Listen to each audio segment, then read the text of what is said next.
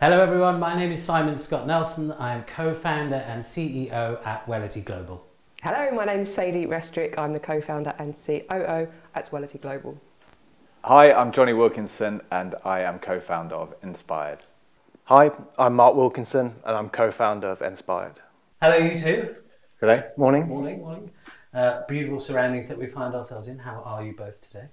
Very good. We had a chance to spend a bit of time together last night, which is nice because we're living further apart nowadays, which is uh, yeah, it's, it's, always nice to catch up and have a bit of time to relax and face to face. So yeah, good. You? Yep, exactly the same. Always nice to catch up with face to face as opposed to on FaceTime. Yeah. It's been a nice change. I've got two brothers. Do you revert back to being teenagers the minute you see each other? A little bit. I'm not sure if we left far enough no. to revert, to be honest. Yeah. Not a great deal of growing up. That's no, no. Yeah, well, I'd love to be a fly on the wall yeah. Um, well, so we're here today to discuss what you two have effectively created mm-hmm. and to find out a bit more of what brought you together in the first place to bring together skill sets, or was it just you wanted to work together and I think on something?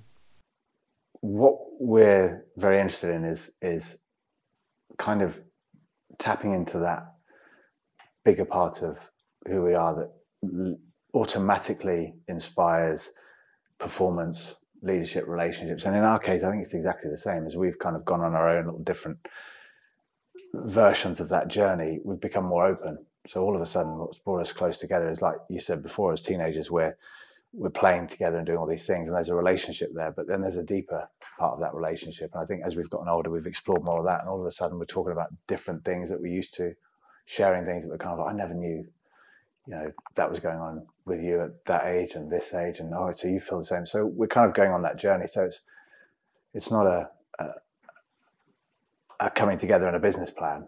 It's like a yeah we're going on that, that journey ourselves. And as we have this has become a, a natural kind of organic you know inspired idea that just fits us both. It certainly fits me.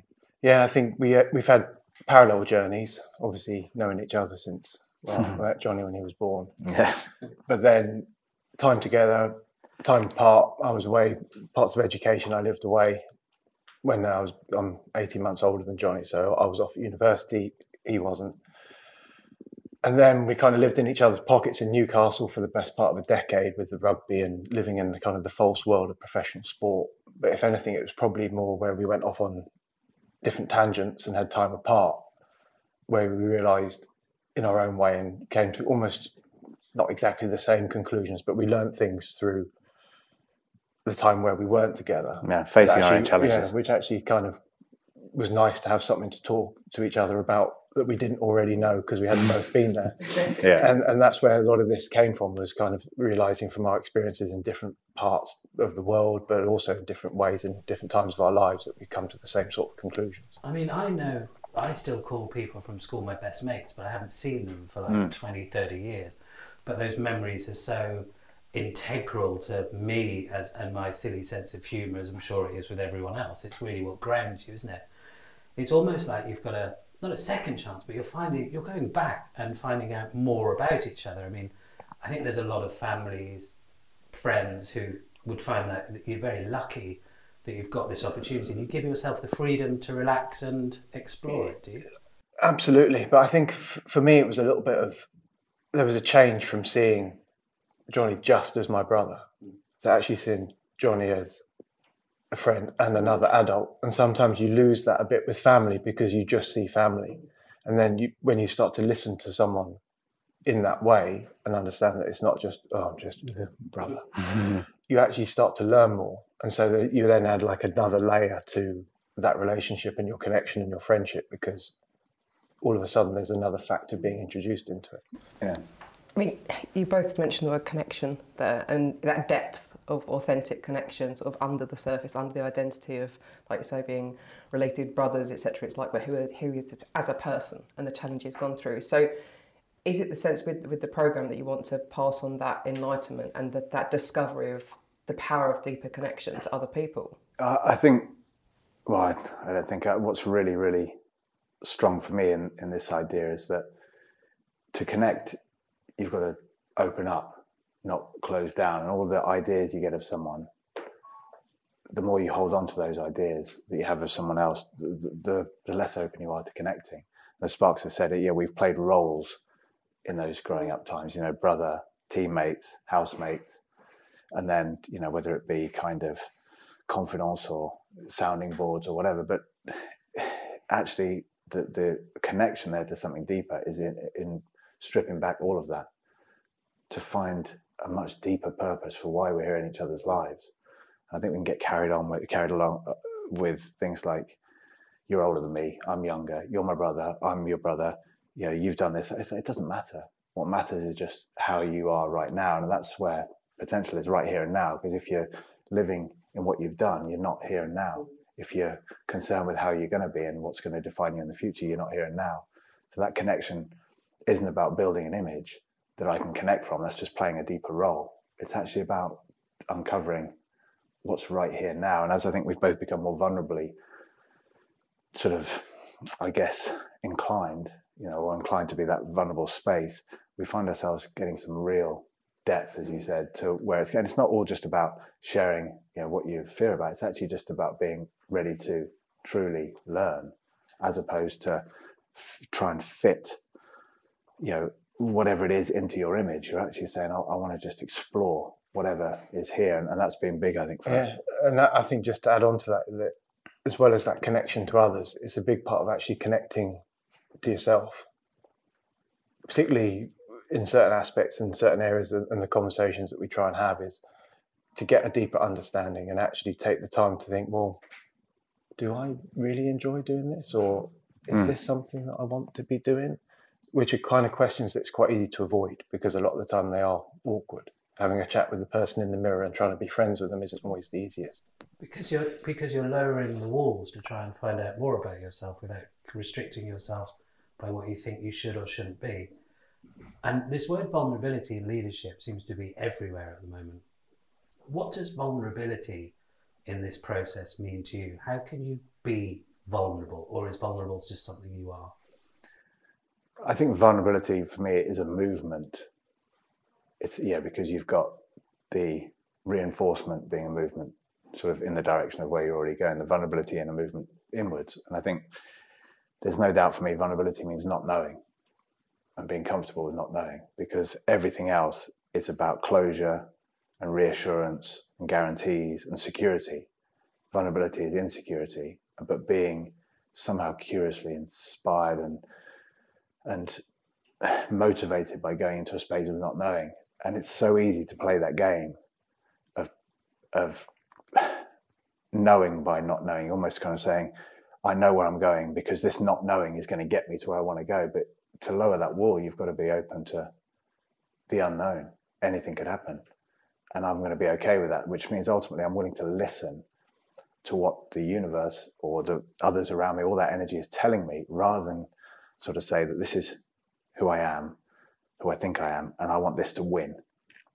So that at the end of my life, I can still be who I am, which is another way of saying I just don't want to grow. So what we're what we're looking at here is, you know, the idea that people come spend some time with us, that you're going to get answers, would just be a movement in reinforcement. It'd be, yeah. So we're not passing on anything. Yeah, okay. We don't say, this is your potential because I mean it's the worst thing you could possibly say as a coach to say this is your potential here have it like, yeah yeah like well well what do I know about you can be, yeah. yeah. No but but but so the concept being that we're not handing over anything we're sharing a journey and just becoming more inspired by growing and evolving than by getting answers which then become the next problem it's, it's so interesting, isn't it? It's so interesting to hear because it like gives another layer of what leadership is. We can't define it ourselves or have others define it. Sometimes it's just someone bringing out what's what's in there. I once had my struggles with my own mental health, and it was so frustrating trying to be something and shoehorn myself into a box that I didn't fit in. It was only when I sort of gave up a bit and just went, "That's it, I've had enough." When I was nothing, it kind of made me gave me the ability to be anything it almost like someone wiped the the everything clean and then you can sort of redefine again is there something on here that might i mean i don't know if you relate to that or something that could break stereotypes don't break effectively what we think. How do you shatter what the norm is when we say that's your that's what you can be? How do we shatter what that is and start again? I I think that's kind of what we're interested in is bringing people towards that vulnerability through an understanding that essentially that vulnerability is is life. And in a way grabbing conclusions and ideas and holding on to them is a kind of it's a very strong term but it's a kind of it's the opposite of living. It's a movement towards the end by saying this is it. Now what we're saying is opening up and growing and blossoming you know as with regard to the seed you know a seed in order for a seed to blossom into something it has to crack open and, and die off and this is what you're kind of doing with those ideas of who you are. Is if you want to keep them, you're going to stay as the seed. You want to see what's in there. You know, you've got to. That's got to come away. But by coming away, you can't control what flower grows afterwards. That's the journey into the unknown. You just know I'm going to blossom. That's the journey. But actually saying, I want, I'm going to crack open the seed, but only if I guarantee I'm going to get this flower and it's going to grow like this and it'll be this color. You're kind of like, but then that idea is what keeps the seed closed as you know in life, you know that kind of I'm about to do this, but I want the answers. I want the guarantee somewhere. I want, and people think about that dealing with pressure as a pressure, and the way I get out of it is confidence. Confidence is just knowing exactly how it's going to go. But what if confidence was just, you know, that kind of different relationship with the unknown? Is it kind of like journaling in, in a bit? If you told yourself, I'm going to sit here and I'm going to write about this for 10 minutes, you'd just be restricted in that. Whereas if you say, I'm just going to open up my thoughts and just write whatever I want, is it the freedom? I, I think it's if you find yourself in a position where you don't necessarily like your current experience of life, the risk of replacing one set of expectations with another and, and then thinking it will be any different is quite depressing in a way the number of times you can find yourself going, if I can just do this, things will be okay. And then when you get to that point, it's exactly the same. But I'm just a bit older and I'm now a little bit more tired. And I've just spent a load of time achieving something that's not really made me happy. And I think that's kind of what we're, we're, we're looking at is when you hold those expectations very strongly, you're refining all the time your possible experience of things and you're kind of putting the blinkers on yourself. Mm. Whereas that ability to, as you said, wipe the slate clean and be a little bit like, okay, cool, right. I don't know what the answers are. but again, but that's also, you know, it's it's not suggesting that that's not intimidating and scary and that oh, it's easy to just go and wipe the slate clean and crack on with it. But it's it's finding a place where you can have those conversations and, and find those sorts of things and allow yourself to work your way into that as opposed to just jumping in straight off mm. in at the deep end. Talking about expectations and how heavy they can sometimes feel, particularly when we place them on ourselves. And we know from research that a lot of people experience can identify with imposter syndrome and this this this fear that essentially they're not good enough and they have something to prove and they work very, very, very hard to try and almost compensate for that and load on the pressure and they're constantly thinking about externally how they're representing what other people are thinking and they're they're constantly trying to catch up with that essentially how do you think, in relation to what we're referring to in the program, you know, how could that help people combat that? Because we see and know that that's something a lot of people are going through, particularly at the moment. For me, the imposter syndrome is interesting. We both had that, something we'd have spoken about all the time, you know, kind of that feeling of um, I don't deserve to be here, and you know, there's others that should be here, and you know, I'm going to get found out, and all this kind of stuff. Or, or for me, it represented by if things were good, it was kind of I'm going to get slipped up here. Where's the big banana skin? And always a bit of a pull towards humiliation. You know, for for we speak a lot about survival and physical survival versus reputational survival, and physical survival is about you know kind of I guess looking after just just staying alive. But that reputational survival, for me, it was it was humiliation was the end of that. That's what challenged it. That was the ultimate end to my power as a person was being humiliated.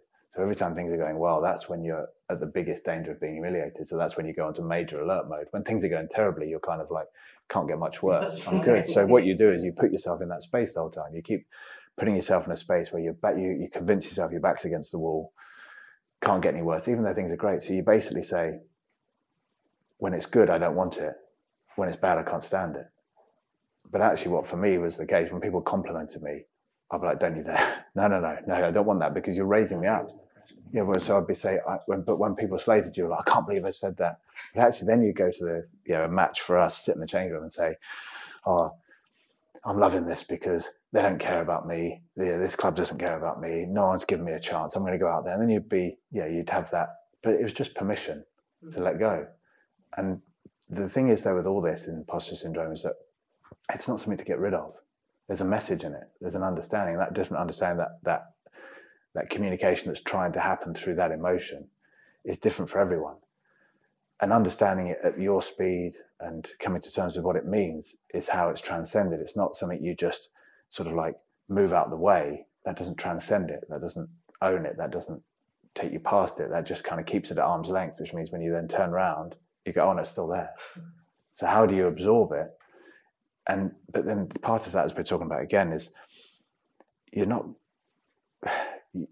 you're never going to get to the end of challenges. Vulnerability is having those challenges, and as long as there's challenge and there's vulnerability, there's growth. So if you want the end of your challenges, you want an imposter syndrome gone, you're kind of like, okay, there'll be something else, and it'll still be a message. The key is just keep you know, get excited about what are these messages, how can I grow, and and then relate that to what is my calling in life. People are in great positions in jobs and they have amazing opportunities to influence, and they're there for a reason, and the desire is linked to that. What's my reason for being here in life? What's what am I supposed to do? Am I lifting people up? Am I inspiring? Am I here to do this? I don't know, but I'm going to find out and go on that journey.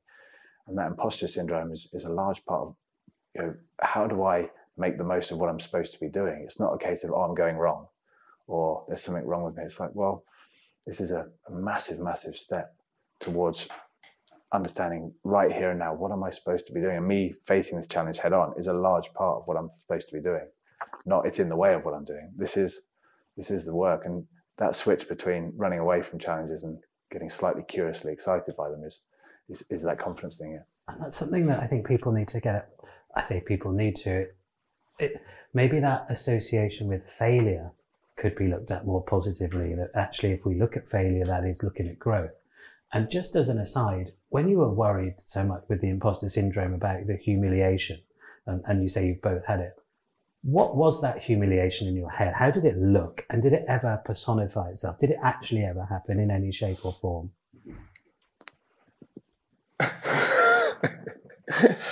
the, the, the, the interesting thing for me with imposter syndrome is that I have maybe the most visceral version of it ever, in that my time playing professional rugby, I played in his position just after he'd been part of the World Cup winning team. But also, you played in other positions. But when I was injured, you took over. When he was injured, yeah, I went into his position mainly because they'd printed the shirts with Wilkinson, and I think it was easier to just put an M at the front. But I'd never played that position at any level of rugby. So to then my first game in that position was in the Premiership at the highest level of domestic rugby, and I am being told to just do what your brother does. And I'm like, mm. yeah, what? How?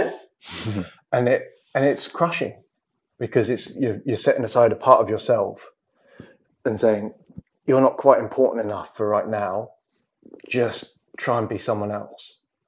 And we joke about it, but I made it onto Eurosport's top 10 most disappointing sporting siblings list at number seven. So I didn't even get in the top five. okay. So it was a double. It was a double right. kick in the pants. Yeah. But at the time, those things were important because you feel like you're in the spotlight and it's other people's opinions, other people's opinions. Didn't matter what I thought, whether I'd had a good game because I had a score out of 10 in the paper or I'd made it onto this list. And that for me was something, it wasn't necessarily a low point, but it was something for me that it was a very tangible feeling of, okay, well, this is what it feels like when all the what ifs that I spend all this time creating in my head, if if a small percentage of them started to come true, this is what it would feel like. Now, in the grand scheme of things, now with perspective, I can stand back and go, that's really not a big deal. but at the time it mm. felt, you know, you, I couldn't look past it. It was here all the time. And so it gives you that feeling. And, and professional sport, we, which we've spoken about at length between us, is it's an interesting microcosm of real life, which you live at 10 times the speed. So you go through everything, but in a short period of time.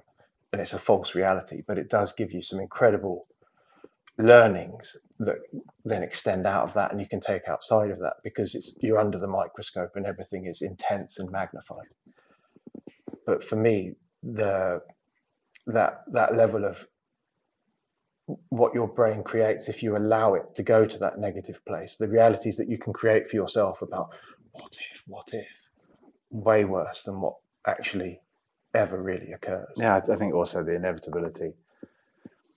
We speak about this a lot. The inevitability of now is really important to take into account. That's the part of acceptance, is that things are as they are, and you can say because they're supposed to be and all these things, but it, and that's all kind of implicitly understood. But it's just things are as they are, and people think that's often the past, but it's actually right now. Things are as they are. The only thing that's not as it is is what's next. And so, in order to come to terms with doing something about that, it comes to a state of getting comfortable with what is. And now you can be free to use all your faculties and, and address them and put all your attention in the space of what do I want next. But we all live in this space, imposter syndrome, whatever the other things, it's all reactivity. And when we are reacting, what's happened is inevitable. What's happening now is inevitable. What is now is inevitable. But what happens next is largely inevitable as well when you're reacting. Hence why we go around in this cycle of finding the same situations in our lives, the same things. Whereas when you to, to cut that reactivity by coming to an acceptance of now deeply the unknown, losing all those guarantees, but coming to it and then to be able to say, right, I'm now wiped slate clean, as you said, free to then what do I want for next? And now you can break that cycle. And breaking cycles is about potential. Because as long as you're going round and round, you know what's coming. And actually when you go round and round, you drop inside the line because you're reinforcing like building walls around yourself. You reinforce from the inside. You don't go outside the wall to build that way. You build from inside because you don't go outside the wall. So life gets smaller. I think having that capacity to break the cycle comes down to acceptance, and that's always the the that's always the solution to a challenge. Whatever the challenge is, the the growth comes from acceptance. It doesn't come from, okay, um, I've had this challenge. I've learned this formula about me and everything, and now I can add that in. It's a case of like something's in the way. That's why it's a challenge. And once that goes, the meaning of the challenge comes out, not from the challenge, but from the inside. What I've released by letting go of that comes out, and that's the meaning. Whereas I think always looking at the the thing for the meaning, but to sit in that challenge is how the answer comes out. To release, not to you know keep looking at why someone said that. What's this thing? Is to say, no, what am I feeling about it? What do I need to let go of? Go into that space, letting go. And this can take a long time. It can happen in very quick instances. It can happen through conversations with others, whatever it is. But it, at some point, the the idea of a challenge is not that you win the challenge, because if you win the challenge, what you must have had was enough. And if you keep winning, you never add, you never reveal anything more than what you've got. So winning an argument is so limiting. Winning rugby games, winning everything, being unbeaten. You know, you look at any team that goes on an unbeaten run in sport, they go like this and they plateau. all you can do is lose Oh, you can, and, and yeah, exactly. And they go to a stage of being like, oh no, and, and they start becoming more and more. We did it with the World Cup in 2003, you know, during the summer. Whoa, pool games, oh, semi final, and then you're hanging on by dear life. Whereas actually, what do you then get is they lose that team, and the next game they're like, whoa, they're free. That's the same with all of this. So every time you get that challenge, it's the dip in the roller coaster that speeds you up the other side. And it's also the ride on the roller coaster that everyone queues up for. No one wants the one that just pops around. And no one wants the one that goes straight down. No one wants the one that goes straight up. You want the ups and downs. You want the speed. You want the thrill that makes you go sometimes, I want to get off. And then you hit the next bit and go, I never want to get off. never take me off this. Get me off this. That's the point. But underneath, you have to realize that's a roller coaster. It's a ride. It's not the real thing. The real thing is stable. The roller coaster appears within the life. Life isn't on the roller coaster and that's the revealing is to come back for me anyway to that more stable setting in who I am, which is you know stable but hugely revealing, that allows you to have a slightly different, you know, kind of relationship with life, which means you're no longer as reactive. There, there needs to be reactivity. That's the challenge. I'm reacting again. Without the reactivity, you're flatlining. You get the reactivity, you're down, but then it's a different relationship, which, which means that then you start to enjoy and see and, and, and start looking for the, the next step, which is the growth. You know, we kill about this ages, don't we? Sparks talks about in his physical side about how the body is stressed, but then the adaptation is the key, how to optimize the adaptation. But with life's challenges, it's the same thing. You get challenged and the stress of that. But then how do you optimize the adaptation coming out the back of that challenge? Because if you don't do that, the challenge is met by another challenge, by another challenge. You know, and you're on that roller coaster that just heads down into, you know, breakneck speed downwards. And you, you sort of adaptation is is the recovery, isn't it? And about the the growth and about the learning. That's the that's the It's a great analogy about the roller coaster, and actually, let's you know we can grow to maybe look forward to our going downs because we know that something's going to happen, mm. and it's part of the journey. You take those away. Yeah, we, we do it all the time.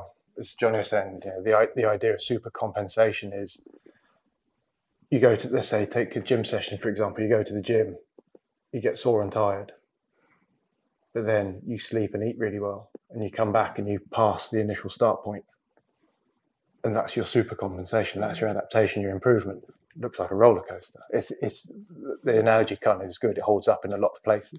So in your experience this transition to being more accountable for choices because this is what you're referring to right? We have a choice and how we respond in a situation and how we're looking to adapt and that taking back that power because we do live in quite a, a blame culture where it's like you know it's government's fault it's their fault it's my company's fault where it's somebody's fault that we're stressed and under pressure and burning out and we're suffering.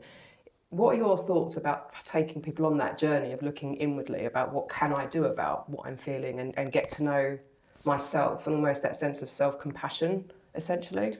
I think you know i get supposed to see what we both think on this but the, for me the interesting thing about choice is that if you make it ahead of time, it's not actually a relevant choice. It then becomes another non-choice. You know, if I if we're stood outside this room before we start chatting to you guys and we've got a script of our answers, then when you speak to me, it's not my choice what I say.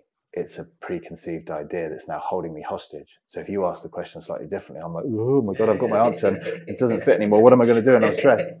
But so the choice is something that belongs to the moment. It belongs to who you are.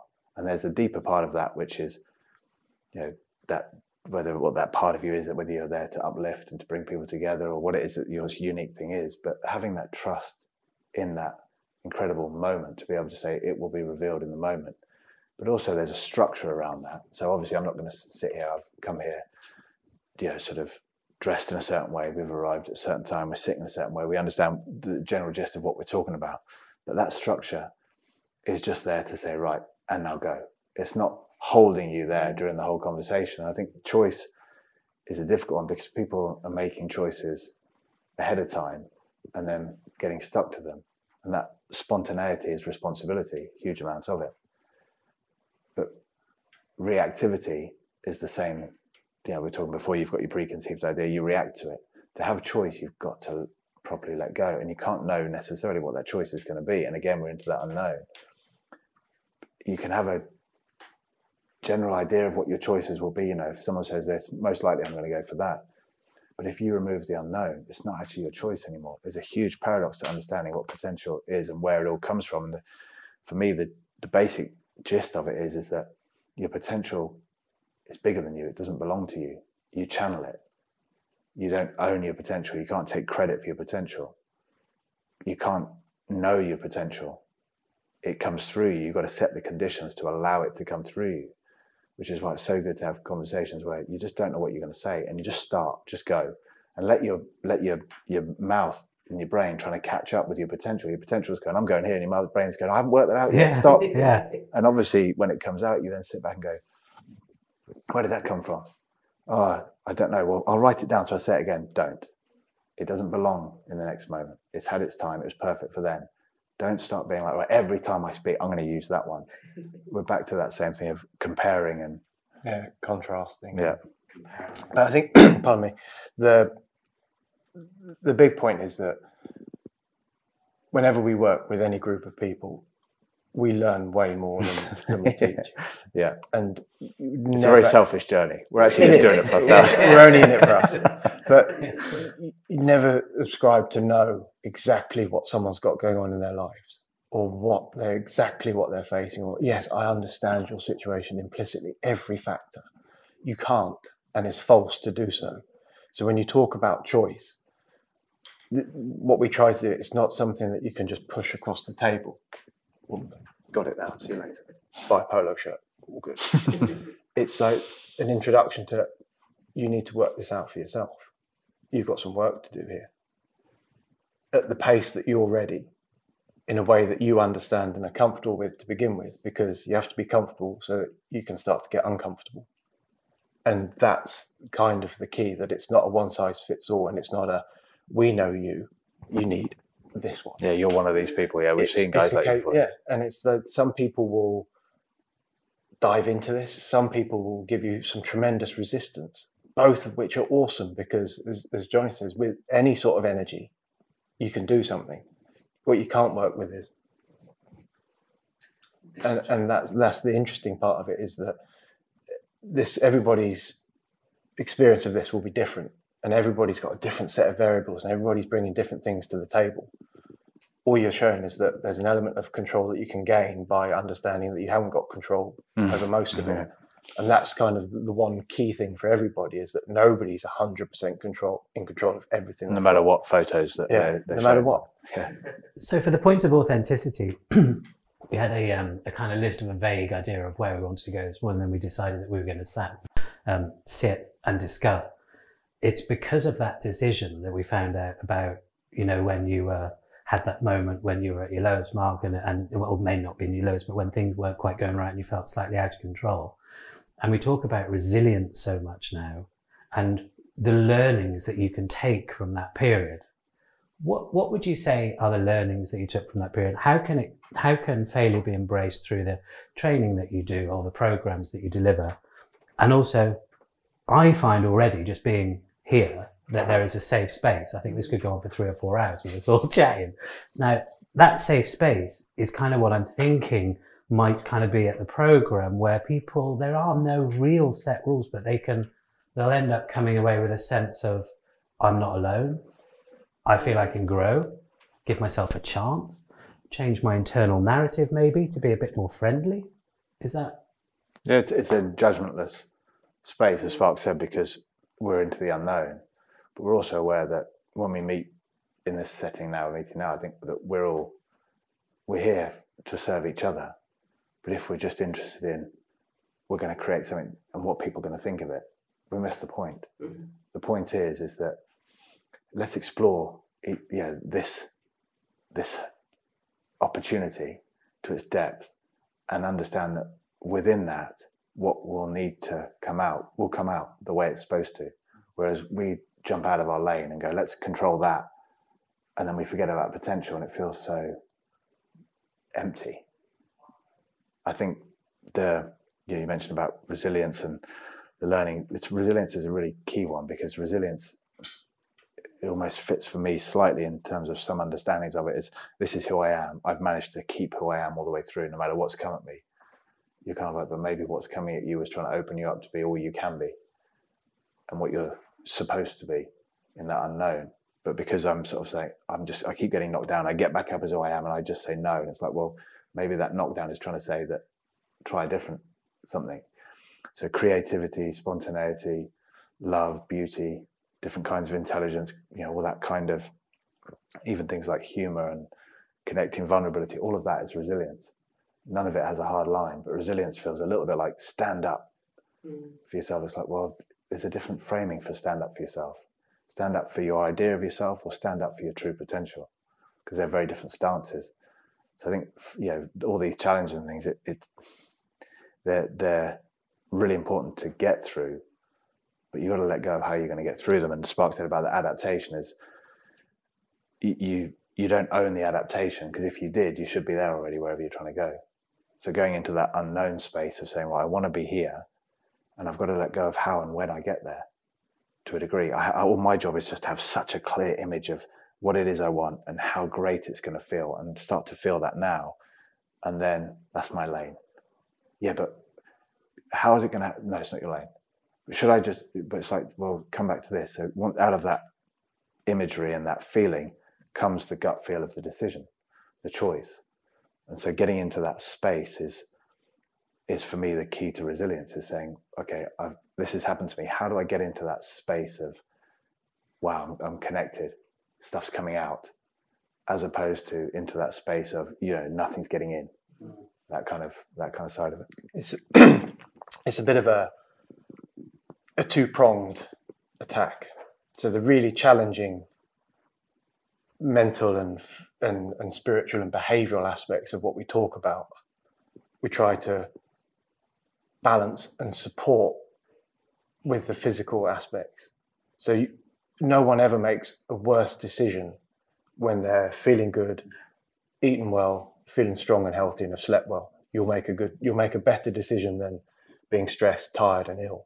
Yet we seem to, at the moment, there's a kind of a feeling that we're setting up our lives where whoever's the most tired, stressed, and ill is probably crushing it the best. but we suffering is like a badge. A little bit, but it's so un- to understand that no one has ever complained. Oh man, all this health is really holding me back. Or I am just furious that I've got this strength. Yeah. It, or uh, all the sleep I'm getting is killing me. Yeah, yeah. It, so it's okay to have a plan. It's okay to spend an element of your time looking after yourself and having a plan for, well, how am I going to live longer? How am I going to live better? And this supports. So when that side of things is pushing towards improving and firing and make it, and whatever that looks like for you, because again, it's not a one size fits all thing, but you'll find that you're much more able to go into those vulnerable, uncomfortable spots and ask yourself the difficult questions and have those deep conversations that lead to those tremendous mm. ideas and findings when you're actually in a better physical place and your health is improving or better or better than it was. But it is that that conservation of energy as well, because I think we often find that people are very when they're very reactive to a stressful situation. They're one of you used the word blinkered earlier, so mm. when you are literally what's in front of you, I need to do this, I need to do that, and just take those off and look at that bigger picture and have that clarity of mind. But we can't expect people to to be resilient and to flex and adapt and and do all these different things without having the energy to do that. And people talk about resilience being bouncing back. You can't bounce anywhere if you haven't got the energy. So, like you say, well, sleeping, eating, all these things, you, you have to be fueling yourself the right way. We'd speak about it as energy in and energy out. And even just by sitting here, there's always energy going out. Your heart's beating, you you know, your sitting muscles, you're having to hold yourself up straight. There's energy out, always. But there's opportunity, people think that it's an energy out or energy in situation and that's the idea behind the day is I wake up at this and it's from the moment that I get up, it's energy out until I sit on my sofa at half five and now it's energy in time. But if you say to people, what is it that brings energy into your life? Just, you know, meeting new people, laughing. You're kind of like, interesting. Can you not do that between nine and 5.30? Isn't that not just life? I love it when you get opportunities to be creative. Yeah, again, every moment of every day is an energy and opportunity. And even when you're being challenged and it feels like you're stressed and energy can come in as well. I think people think that it's often we get the impression that I've lived that life where you just you drain yourself and then you try and get it all back in those last few minutes of the day, and you find yourself kind of it's, it's like the like your phone. You run it down all day, but you just plug it in at night. Yeah. Whereas you could effectively be topping if it. If it was charging itself, it was, and and but also when you get to that energy surplus, and yeah, it's important not to necessarily just think of that comes often as calories in, calories out, but we're talking about just an energy state where your energy state is, is expanding. We're talking about breaking that cycle again. You're no longer just going round and round, down to, like Spark says, 5% on your phone, back to 100, down to, so, well, who said 100 is 100? If you keep energy in, where does it stop? If you keep meeting people and exploring and being creative, you get more energy in, some out, more energy in, some out, more. Well, where does that limit go? Well, that would be my potential. Exactly. Unknown. I know 100% is where you can get to. But actually, when you get above that, you're into new space, new ideas, and nothing else coming in. So, physically, whether it's physically, whether it's emotionally, expanding has to be an, a, a real time understanding of stress. Because if not, you get through your day and at the end of it, you go, I've been so stressed today. But if you're in the middle of your stress and you go, I'm stressed, it's how exciting. It's energy in now. Mm. You know, God, I'm trying to win this argument. That's a revelation, energy in. yeah, do I need to win this uh, energy in? I'm curious about the energy And whilst obviously then still having a, an argument. At the end of it, you come away and you just, oh, I've expanded because of that, rather than it being 50 years later. Oh, you know, that helped me that moment. It took 50 years, but it can actually be very quick, those revelations. It's, it's if you ask someone a limiting question, what percentage energy are you at? Well, the maximum you can ever be is 100 because you've given you the limit. Out of 10, how are you feeling today? If you, if you start to think of it, particularly with energy, that it is limitless because it's how you feel. Mm. Well, it's, your, it's your opinion on how you feel. Our self-limiting beliefs as well. Am I happy or am I not happy? Well, what, what is define what either is, one yeah. of those?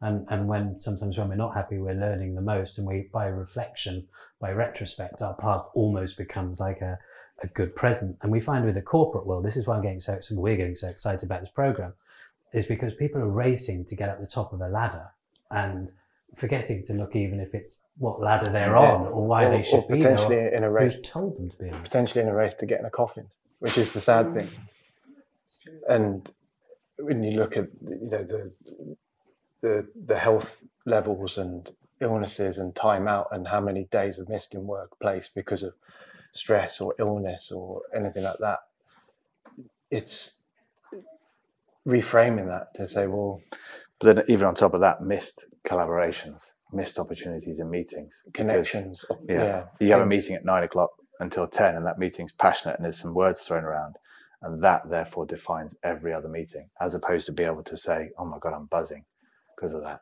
And i've i've just been personally a bit sort of hurt by some of this these words flying around. And for that to as we said be the the the, the meaning and the opportunity through which the next meeting blossoms rather than it be a kind of oh god now this has gone even further down and this meeting you get home and go what a rubbish day as opposed to the curiosity of like, wow. And out of that energy, is as you reset, you kind of find this, that was the meaning of that for this meeting. And it was supposed to happen then for this meeting now. And look what's come of this meeting because I've fallen inwards into that rather than gone, oh, it shouldn't be this way. And whilst I'm reacting to that, that meeting's gone.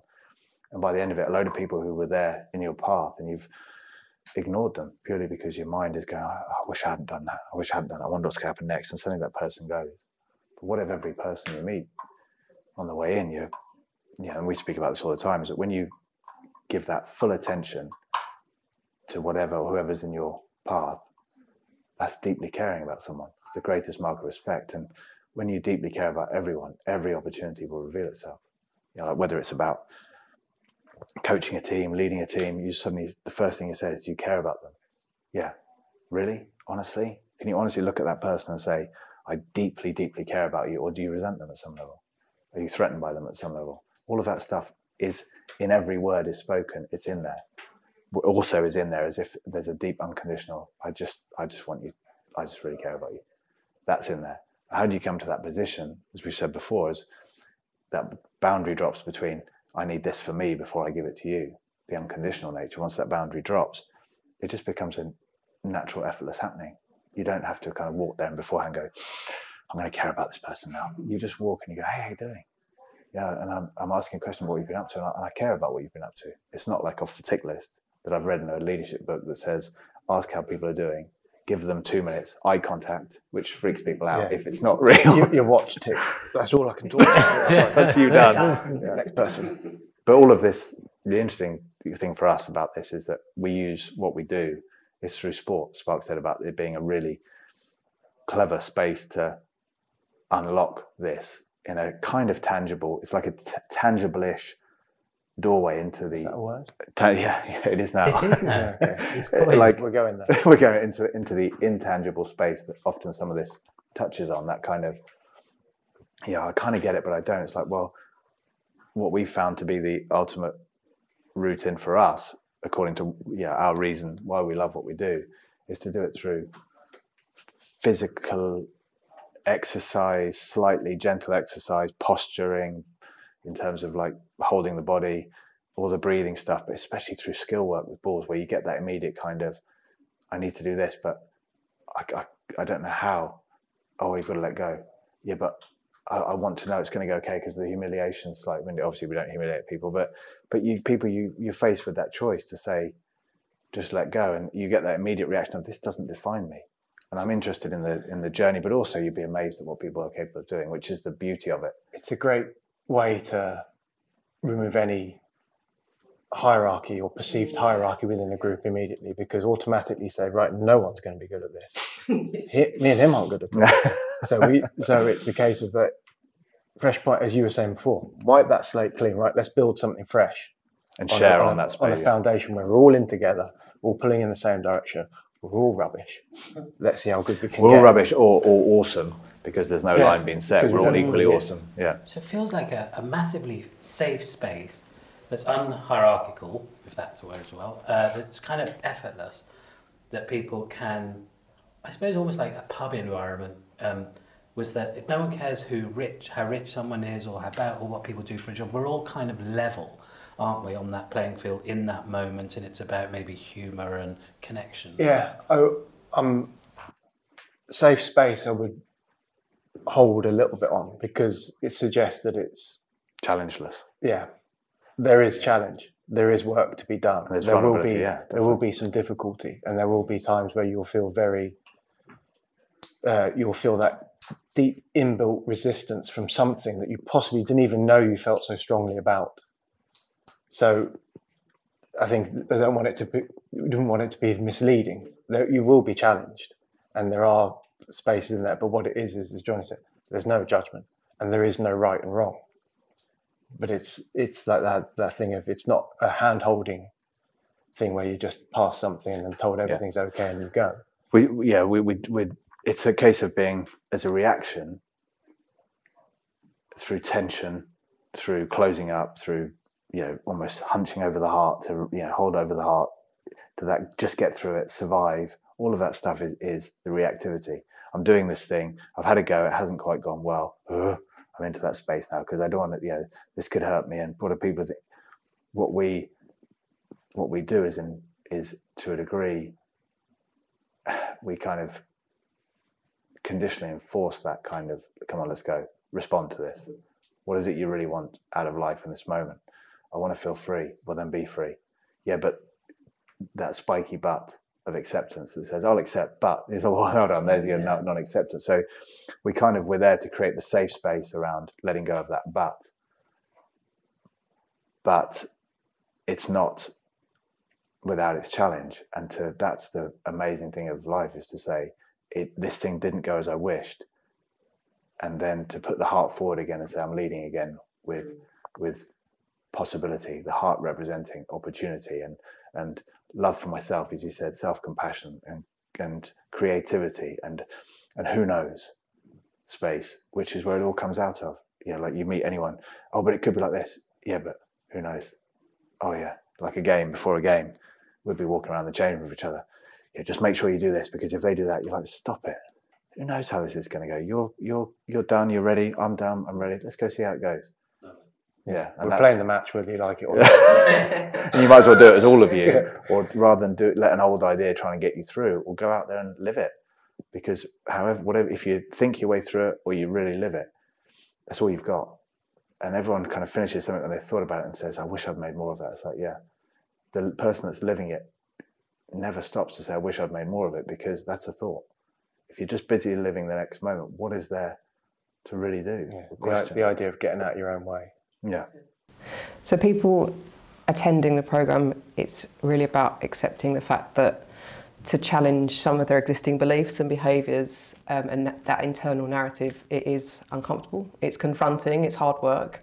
Um, so coming with that mindset, I think it sounds like that would be quite advantageous. Yeah, I- I think, but also just to to let go of ideas about because as soon as you hear like you know we're gonna this is what the program's about. That's why we don't. We'd love to be able just to say just turn up because as soon as you talk through things, you put words on things. People's relationships with those words and those concepts that they've heard elsewhere and whatever, and they maybe have experienced in certain environments, create this kind of reaction to it. It's going to be like that. We don't like talking about it because when we turn up, we don't know how it's going to be. We have that structure, and in that structure, we have every session we do. Each one we come out and go, "Whoa, that was amazing! Do you remember that?" And but that was nothing like that one. Well, should we put that in the no? Just let's turn up as the evolved versions of who we are for the next set and see where it goes.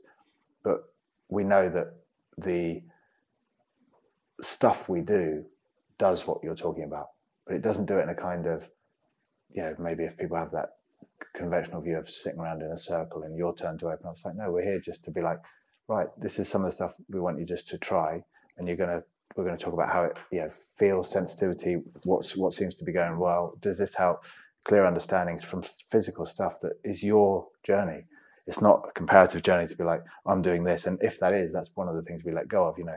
Why are you looking at what they're doing? Why yeah but they've just done this and yes and there's also people on the other side of the world at the moment who are doing some amazing stuff. Do you want to know about what all they're doing and how that puts you in your you know, where do you rate as sparks was saying in the seven and a half billion people where are you in the list yeah how are you doing it's like no just it's your journey you're one of one you're not one of seven and a half billion you know and we we that's the beauty of the session is that it naturally bespokes itself to just you.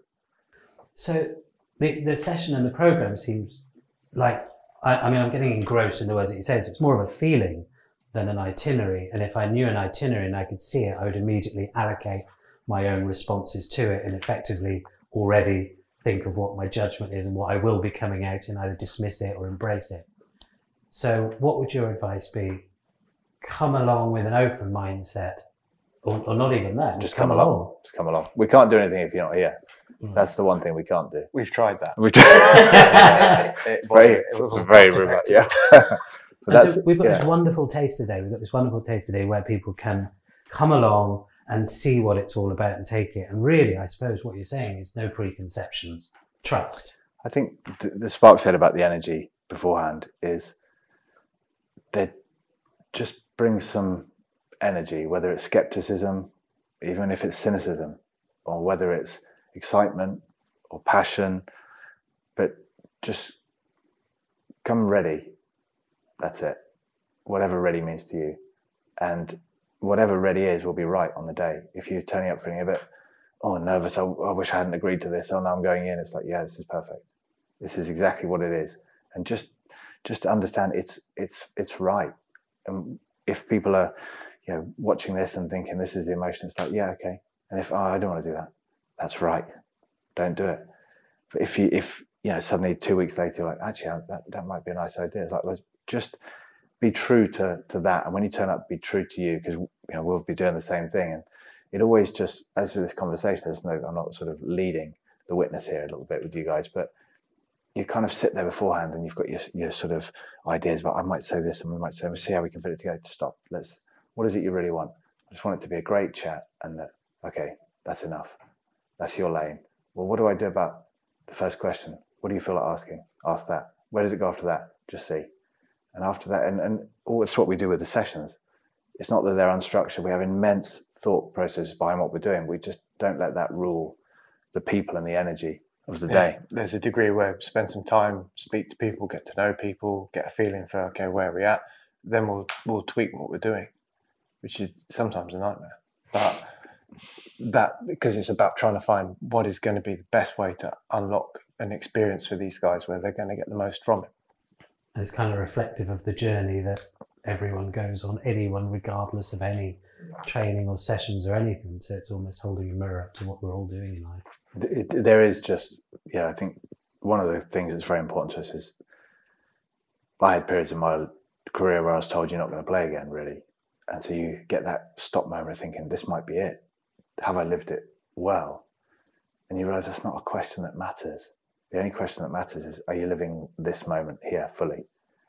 Because if you're living this moment fully and someone says, how's life? When you're living it that fully, you won't even be there to answer. You'll be so engrossed. But if you could, how's life? You're just like, it's all good. Yeah. But what about 10 years ago? Do you remember that happened? It's all good. But 10 years ago, you won the World Cup and right now you're really disconnected. How's life? Terrible. But you've won everything you ever wanted and you've got this and people think you're great. It's like, it doesn't matter. How am I living this moment? Am I going to think my way through it and survive it? Or am I just going to let go and fall and fall gracefully into it and see what it's all about? And that's not going away. That's not an age thing. That's not like a, you don't earn that. You just, you just let go and experience it or you, you try and calculate it and win it and succeed at it, like you said, success and failure. And no one's ever come away and said, I succeeded at life. it's just, are you happy? Are you and happy, joyful? Yeah, I spoke to a rugby player and said someone was saying you need to be you need to enjoy your rugby. I said, well, what's joy mean to you? It's like, well, I'm fully engaged and just writing it. And what does your face look like? This. so not like this. like, wow. So joy isn't about Yeah. smiling. Laughing's kind of cool, but laughing when you see someone laughing who doesn't really want to laugh, you're like, oh my god, this is not working for me. That's Yeah, great. this is- That's quite creepy. yeah, but it's yeah, it's it's so that's the ultimate thing it comes down to is just trying to have, as Spark said, a bit of a plan, but mostly your own unique understanding of getting closer and closer when you find challenges that are trying to draw you into that disconnected way of thinking through life, surviving it and solving the problem versus allowing, accepting and revealing the beauty that, that is within. I think that's yeah, that that's it. And yeah, everything we can say on top of that is just probably going to lead it further away from mm. from that meaning. Well, I never thought I would say this, but um, we're going to have to wrap this up. at. Unfortunately, um, we're beaten by the clock. Is there anything else that you'd like to mention while we're here? I'm pretty good. No, No, we're all think good. we're- Well, we're ready Yeah. to go. We're ready to go for the taste today. We're ready to go to roll out this tremendous product that you both have created.